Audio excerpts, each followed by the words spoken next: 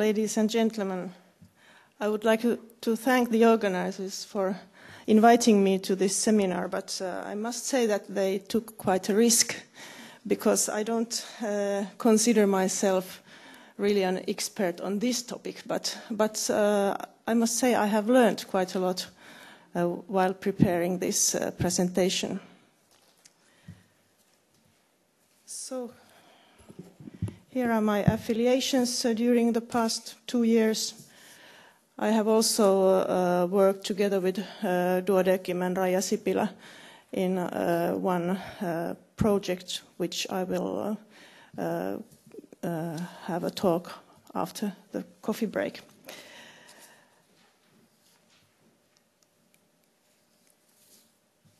So, um, Gerold Stucki and, and co-workers emphasized recently in their article in, uh, published in the Journal of Rehabilitation Medicine that the meaning of rehabilitation will further increase. Population aging and chronic diseases in, uh, have impact uh, societies worldwide, as well as here in Finland. They wrote that rehabilitation aims to optimize people's functioning associated with diseases, injuries, and other health uh, conditions in the context of an individual's position in life and resources, and in interaction with the physical, human built, attitudinal, and social environment.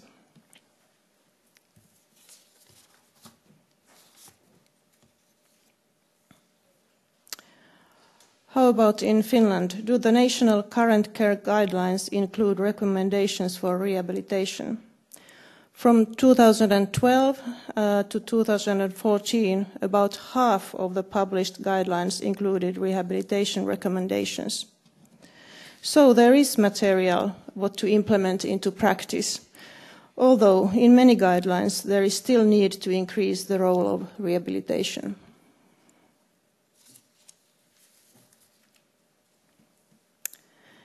Is there any special characteristics of implementation in rehabilitation context?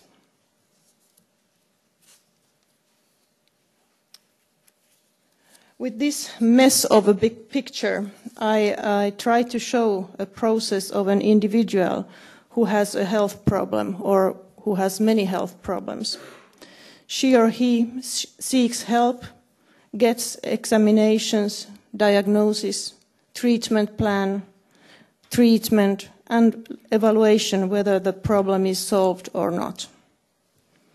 Rehabilitation in general will start if the function is not achieved by the treatment, or sometimes it's good to start with the treatment. So to combine these treatment and rehabilitation goals. However, people with many diseases and then um, another team many diseases um, uh, may have several groups who take care of the different diseases. So there are many specialists around this person. And many teams take care of the re rehabilitation and, uh, and the disease.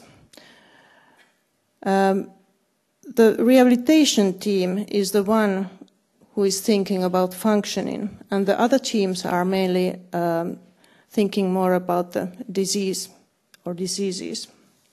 It would be ideal that these teams know what the others have planned together with the patient. Sometimes changing the treatment plan impacts rehabilitation and vice versa. So implementation of rehabilitation means that also those who don't belong to the rehabilitation team should also know the main ideas and goals and possibilities of rehabilitation.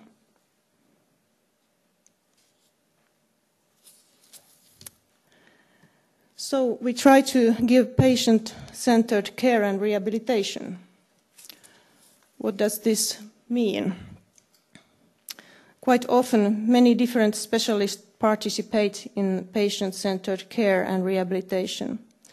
This picture could be an example of a patient with spinal cord injury or some neurological disease, for example. In addition to the challenge that implementation of a rehabilitation process concerns many specialists, this process may happen in many places in different organizations. So the implementation has to take place in all these organizations and, and levels. Of course, part of the process may happen only at one level. However, rehabilitation is often a long process among interdisciplinary team and it's dependent on right timing, good collaboration, continuous assessment and evaluation, and clear goal, goals. It's easy to understand that implementation of rehabilitation is important, but not very easy, and it needs enough time.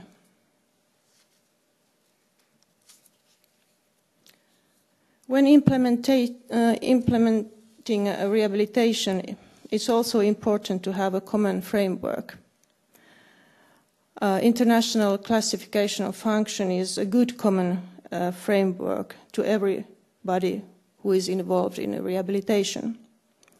The aim of rehabilitation process should be to improve uh, or maintain persons' activity and participation.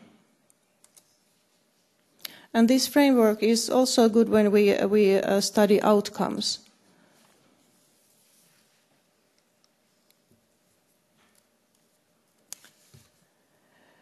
So what do we know about the best ways to implement rehabilitation? One important phase is uh, um, knowledge translation and uh, there is uh, one systematic review, for example, by Scott and co-workers who found that we still have very limited uh, information which knowledge translation strategy uh, would be the best across allied health professions. So we all know that there are many uh, professionals in a rehabilitation team, but, but how to uh, transfer knowledge in the best way, we don't know it yet.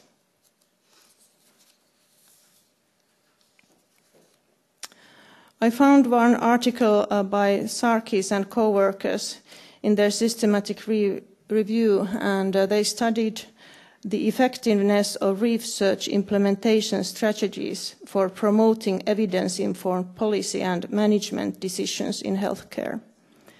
But I think this um, uh, model um, gives a good basic model and understanding also what should be taken into account when implementing uh, rehabilitation guidelines or processes. So the, uh, to establish imperative, build trust, people, uh, processes, outcome, develop shared vision, and then action change mechanism. And we also have to provide resources to support change and employ effective communication strategies.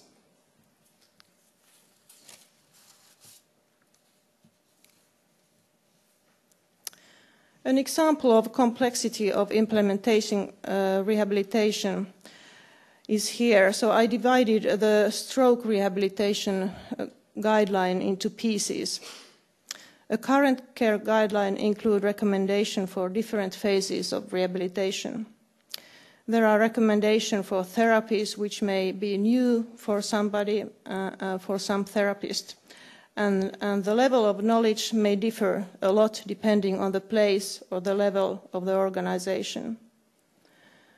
So good planning and management of the implementation process is extremely important and may also need financial support and long-term goals as we uh, heard uh, just before.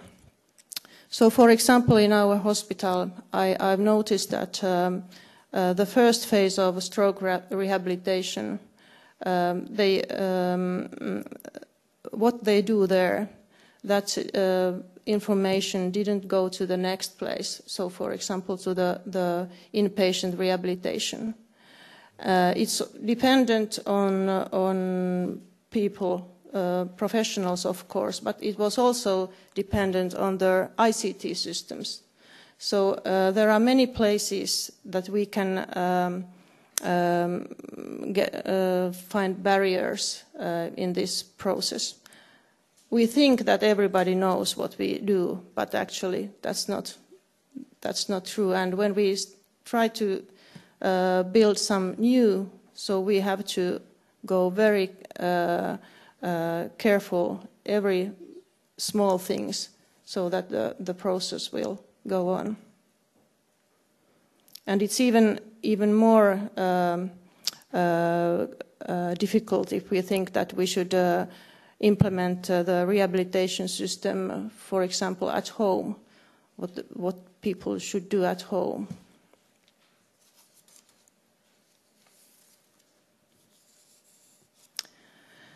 Bekkering and co-workers described it already about 15 years ago, uh, how to implement physiotherapy guidelines on low back pain. Their active strategy aimed to reduce barriers related to the guideline of the target group, social context, and organizational context. They wanted to build a model for improving professionals' knowledge and influencing the management of primary care clinicians. They divided the process into four steps, and for each step, uh, uh, different interventions for implementation could be chosen.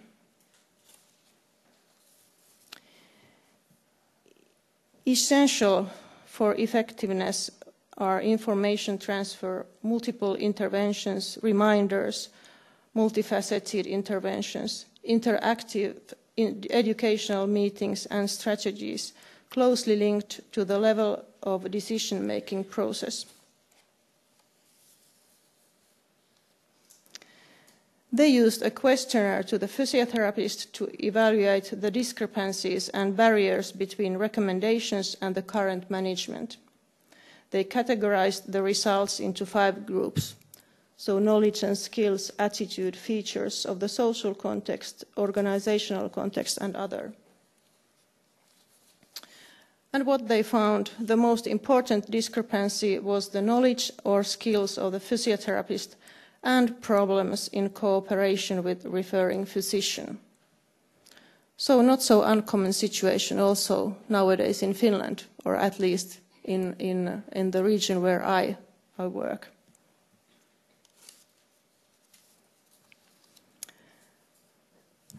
And they also um, uh, did the following. So for each discrepancy, a plan how to address this problem was planned and addressed in training with education, discussion, role play, feedback, or with reminders. So that was kind of kind of example. Then we know that there are multiple guidelines, for example, stroke guidelines. Um, how to do synthesis for further purposes. The synthesis of practice guidelines for specific clinical applications is rather uncommon.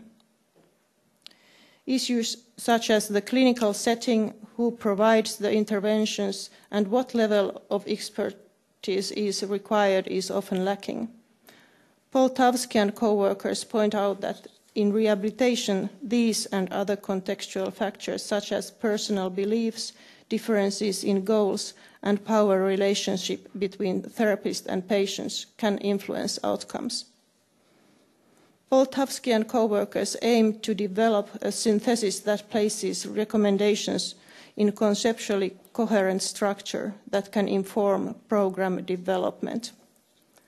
First, they define the health question, then search for guidelines defining the eligibility criteria. Intervention mapping use, uses the following concepts. Target outcomes, which are the long-term benefits that the intervention is designed to achieve for its participants. Proximal objectives are the changes in that participant and her environment that are necessary for the outcomes. Pract Practical strategies are the means or delivery modes that may be served these objectives. Because the focus was exercise programs that can be delivered in community settings, they did not uh, extract recommendations relating the use of robots or partial body weight support therapy or things like that.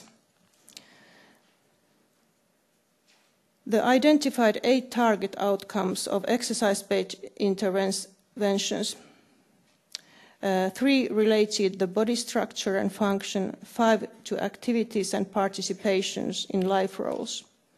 So they used the ICF framework.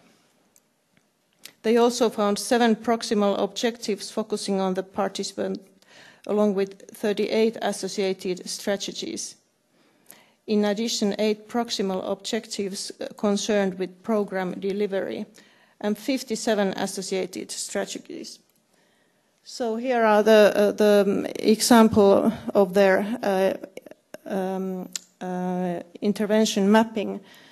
So this is uh, for the program content. So the numbers are uh, the number of the, the studies, and uh, here is the pro proximal objective, like increase muscle strength, and then recommended strategies. And then they, they check out what how they were um, in these studies. And, and the next um, example is, is about the program delivery, uh, delivery strategies. For example, ensure dosage is sufficient to establish and maintain benefits. And um, uh, recommended strategies is at least three days per week physical exercise. And then they uh, found out how many how many uh, uh, count of uh, studies and what kind of level of evidence they found. So they, they try to combine this information. This kind of synthesis can be used to help to plan an effective intervention by providing best evidence suggestions addressing content, delivery issues, and other contextual factors.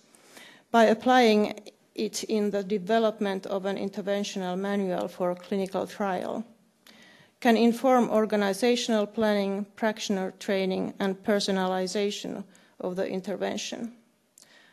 The essential components of this kind of synthesis could be applied in the planning of other rehabilitation programs. However, its feasibility and effectiveness for the purpose requires further evaluation. It can provide a checklist. Poltawski and co-workers used uh, this, for example, to analyze the content of a stroke exercise-based program manual. The synthesis enables identification of limitations in guidelines that may affect implementation. It could be reasonable to do the synthesis in ICF framework.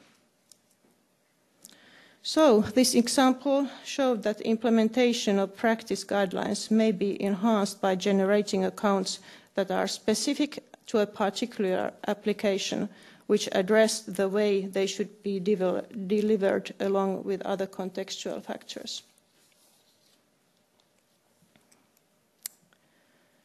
So, for the knowledge translation, there are passive or active methods, single or multi-component interventions.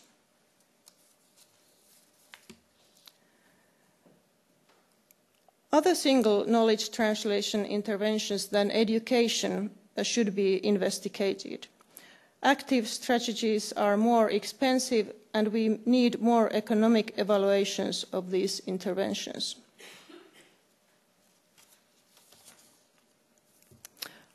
Are there patient groups who especially need implementation of rehabilitation? I would say that yes, there are. Estimates of the average cost of stroke in the USA varied a lot, but the average cost of hospitalization was about $20,000. The most efficient stroke service experiment was most successful in coordinating patient flow from hospital to home or nursing home. The worldwide cost of uh, dementia were estimated uh, $818 billion in the USA in 2015 and had increased about 35% since 2010. Medical costs, however, are lower than costs of social care. In UK, hospital costs of hip fracture patients was estimated to be 14,000 pounds, and uh, in the uh, in the first and second year after the fracture, it was about 2,000 pounds. In low back pain, indirect cost resulting from lost work productivity represents a majority of costs largest proportion uh, of a, medical cost was spent on physical therapy, about 17%, and inpatient services. For the pharmacy, about 13%, and for primary care, about 13%. The American Heart Association claims that cardiovascular disease costs will exceed $1 trillion by 2035 uh, are the most costly and prevalent killer if left unchecked. And chronic obstructive pulmonary disease costs $50 billion, of which $30 billion are direct medical costs. There is evidence that the rehabilitation of patients with these diseases is effective and implementation of rehabilitation could improve outcomes, decrease costs, and diminish burden and suffering of patients. I have some examples of, of some of these uh, disease groups. So, um, among uh, stroke patients, here are some barriers and enablers to uh, evidence-based practice for acute stroke. So poor organizational or institutional level support, health professionals' limited skills to use particular therapy, low level of, of awareness, confidence in the effectiveness of a particular evidence-based therapy, limited medical facilities to support evidence uptake, and inadequate peer support among health professionals.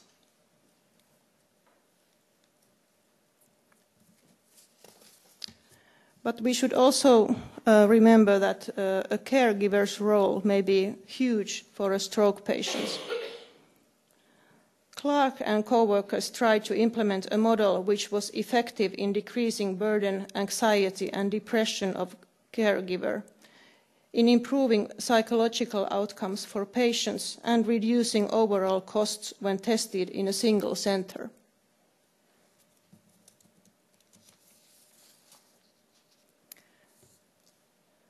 The results of their study showed that um, there were no differences between groups on patients' functional outcomes or caregivers' burden when this was tested in, in um, many places. So the implementation was not successful, although the, the preliminary study showed that this model could be a good one. Reasons why complex interventions become embedded and work are diverse. Commonly involve barriers and facilitators at the human resource and team level. In stable organizations, change is an accepted part of service provision, evidence-based interventions more likely to become embedded. So there might have been also organizational things and facilitating a partnership between caregivers and staff in supporting stroke survivor added another layer of complexity to implementation.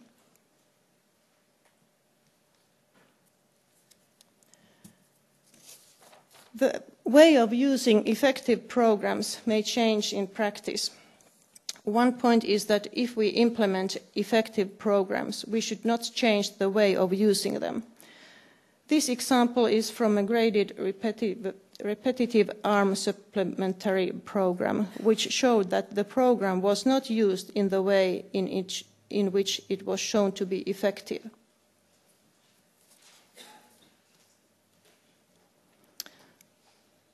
Sometimes simple is working. Although multifaceted programs are regarded as good Uh, an Austra Australian study showed that implementing a new rehabilitation assessment tool, multifaceted program, was not more effective than education only.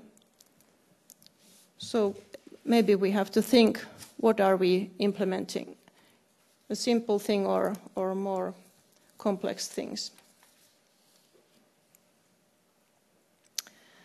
This example shows that it's possible to use benchmarking controlled trials to show the effectiveness of a new process. More than 10 years ago, um, the Louhias uh, developed an active hip fracture rehabilitation process in Lahti City Hospital.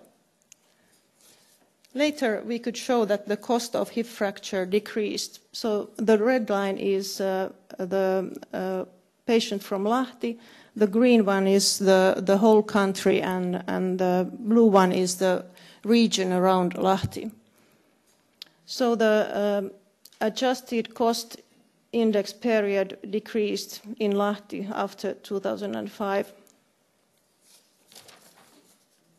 And also the days at hospital decreased compared to other municipalities in the region or in Finland and the proportion of institutional care diminished, as well as the costs. So it's possible to study the results of implementation from reg registers too. And as we know, in Finland we have quite good registers, so we should use them in these kind of studies. So some example from low back pain. One example of low back uh, pain guideline implementation from Germany. They compared multifaceted guideline implementation and uh, that with a combination of training of practice nurses, motivational counseling, with controls who got the guideline by mail. Patients' functional capacity was higher in intervention groups and there were reductions of days in pain per year in the intervention groups. Their implementation was the following. Seminars included information on performance of the diagnostic triage, identification of red flags, early identification of yellow flags, informing and advising patients. The third session gave room for discussion of implementation barriers and individual experiences. Doctors got information about local faci facilities for patients groups and individual educational visits by study nurses to participating uh, uh, GPs were done twice or uh, to hand over the guideline and after three and six months. During the third session, GPs uh, of this uh, uh, guideline um, plus um, multi, motivational counseling group were introduced to motivational counseling strategies. Two nurses per practice received 20-hour training designed to increase the nurses' skills to motivate low back pain patients for regular physical activities. Practice nurses were asked to invite patients for up to three counseling sessions. Uh, they should use specifically designed brochures on motivational and behavioral change and posters to communicate key messages. Study coordinators contacted the practice nurses regularly to identify barriers and problems. The control group received the guideline by mail.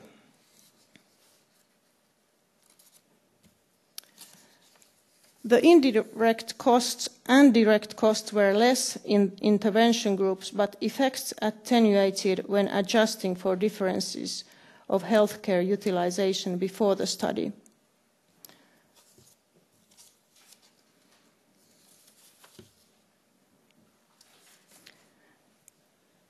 There is also preliminary evidence that the adherence to established clinical practice guidelines may assist with decreasing healthcare utilization and costs.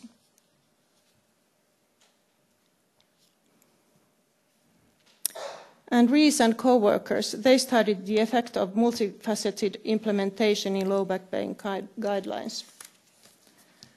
Their primary outcome was referral to secondary health care within 12 weeks. Multifaceted implementation changed the referral behavior and was cost effective, but patient preferences not necessarily supported that.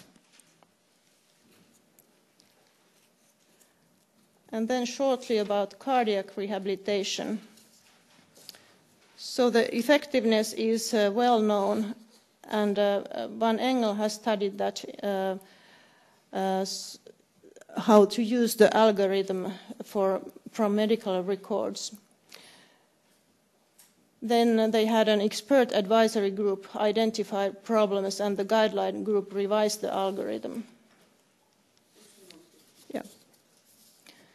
And the source of variation was assessment-based, and they added, added new instruments uh, after this process. So, what about the future? In future, we will get more information about the effectiveness of implementation in rehabilitation context, while several study protocols have been published. Because rehabilitation of many chronic long-term diseases is important to reduce costs, rehabilitation should be emphasized in current care guidelines in every hospital district. The pathway from acute care to long-term rehabilitation should be fluent, and implementation needs engagement of professionals and leaders in every level of phase or phase on the pathway, even during the big change of the healthcare system what we are going to have, I think. Thank you for your attention.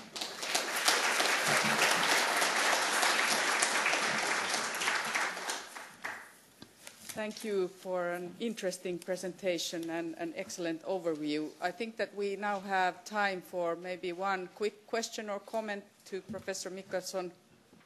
Please. Marjukka Mäkelä, wait for the mic.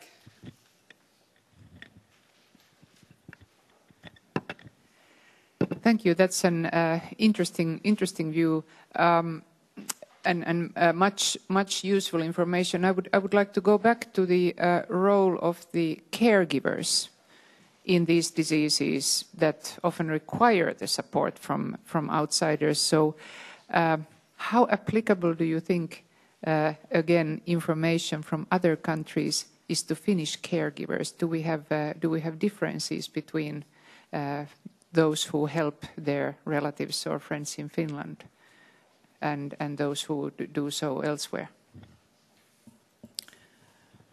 I think I can't answer to your question. I, am not so deeply involved in that, but, but um, I think in Finland we should. Uh, my experience is that we should uh, um, give more um, or put more pressure on that. So we we uh, should uh, do co-work with caregivers. Okay, there's one more hand, so bear with me. One more question, and then that's it. Please uh, introduce yourself. Yes, thank you. Esa-Pekka Takala from the Finnish Institute of Occupational Health.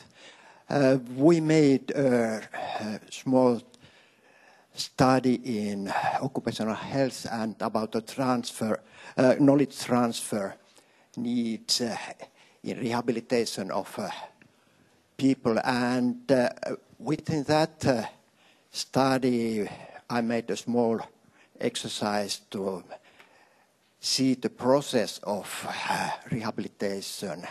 if I go as a patient or to the first to the healthcare system, then I am wait I will wait for the decision for rehabilitation, uh, and finally the rehabilitation in some kind of institution or caregivers. And it was interesting to know, see that each of those stakeholders had their own processes, but those processes didn't cross between each others.